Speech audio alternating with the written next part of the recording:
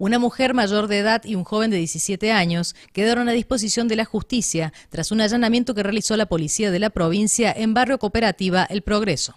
Se procede al secuestro de 12 kilos aproximadamente de cocaína, un kilo de, pasta base y también tenían elementos de corte, más o menos unos 6 kilos. ¿sí? ¿Qué actividad se desarrollaba allí? Sí, de, la investigación que, nosotros desarrollamos, eh, surge que, en el lugar, digamos, se daba la comercialización de estupefacientes.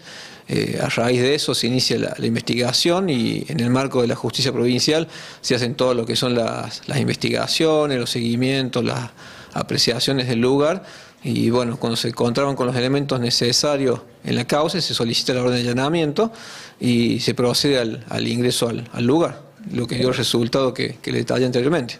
Según se investiga, el joven menor de edad habría participado en el servicio de venta y entrega a domicilio de las drogas. Hay dos personas detenidas, eh, una mujer eh, y un muchacho eh, de 17 años. A ambos se le imputa la tenencia con fines de comercialización y a la mujer la misma figura, pero grabada, digamos, justamente por la intervención de un menor en este tipo de actividad.